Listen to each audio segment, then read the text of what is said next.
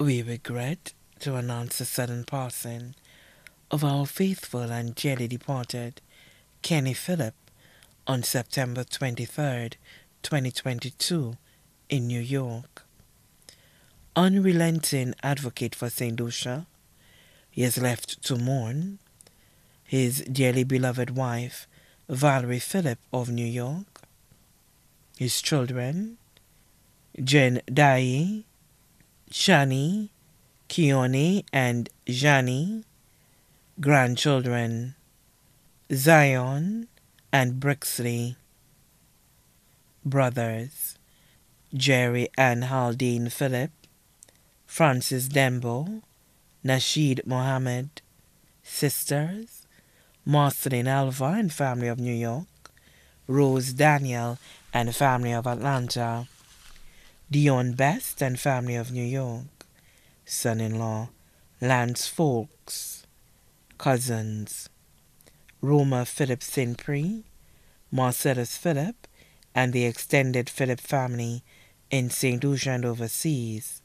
Tex Philip and family in Canada, Andre Philip and family of the U.S., Leah Carlotta and family of New York, Gregory Girard and the Girard family in St. Lucia, the Maynard family in St. Lucia, Dudley George and family in New York. Nieces Aquila Philip, Zakia Philip, Najar Philip, Keisha, Maida, Nancy Jude of the U.S., Shanika Bissett in St. Lucia, and their families.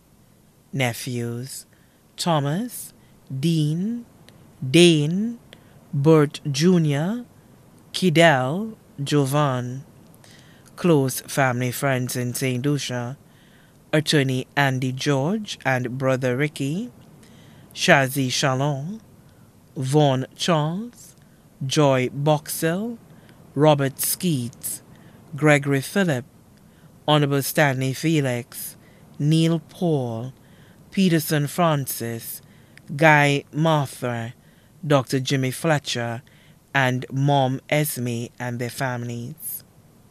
In the U.S., Jeremiah Harrison, Matthias Wilkie and family, Alex Linas, Andre Gandhi, Kenny Coco, Fordy, Dan Danstar, John Larcher, Hillary, Sia, Stan Joseph, Jennifer and Jacinta James, Leo Robinson, Roy Lancico, Vincent D'Antonio, Michelle Murray, Desire Brown, Fearless Empress Brown, Yasmin Anthony, many other relatives and friends in St. Lucia and the U.S., too numerous to mention the funeral service for the late beloved Kenny Phillip will be held at 10 a.m.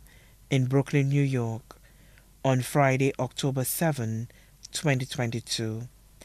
And interment will be in the Pine Lawn Cemetery, Farmingdale, New York. May he rest in perfect peace.